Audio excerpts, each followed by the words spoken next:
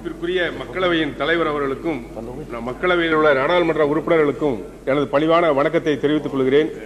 ஒரு நல்ல வாய்ப்பை தந்தமைக்காக நன்றியை தெரிவித்து என்னுடைய முதல் குரல் நாடாளுமன்றத்தில் என் மொழிக்காக தாய்மொழிக்காக ஒழிக்க வேண்டும் என்பதுதான் என்னுடைய விருப்பம். அந்த அடிப்படையில் அந்த வாய்ப்பு கிடைத்திருக்கிறது.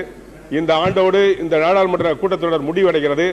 எனவே வருகிற இரண்டாயிரமாவது ஆண்டில் இந்த ஆண்டு சமஸ்கிருத மொழி ஆண்டாக அறிவிக்கப்பட்டிருக்கிறது போல வருகிற இரண்டாயிரமாவது ஆண்டை தமிழ் மொழியின் ஆண்டாக அறிவிக்கப்பட வேண்டும். அதற்கு அரசாங்கம் உரிய நடவடிக்கை எடுக்க வேண்டும்.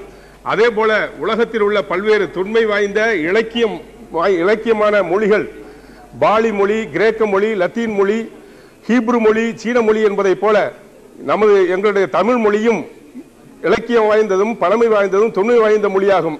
எனவே இந்திய அரசாங்கம் தமிழ் மொழியை உயர் தனி செம்மொழியாக கிளாசிக் லாங்குவேஜாக ஆசிய கிளாசிக் லாங்குவேஜ் ஆக அறிவிக்க வேண்டும் என்பதை இந்த நேரத்தில் வலியுறுத்தி என்னுடைய கோரிக்கையை தமிழ்நாட்டில் உள்ள அனைத்து தமிழ் நாடாளுமன்ற உறுப்பினர்களும் அதே போன்று இந்த மக்களவை உறுப்பினர்களும் ஆதரிப்பார்கள் என்ற நம்பிக்கையோடு உங்கள் அனைவருக்கும் மீண்டும் நன்றியை தெரிவித்துக் கொள்கிறேன். நன்றி வணக்கம்.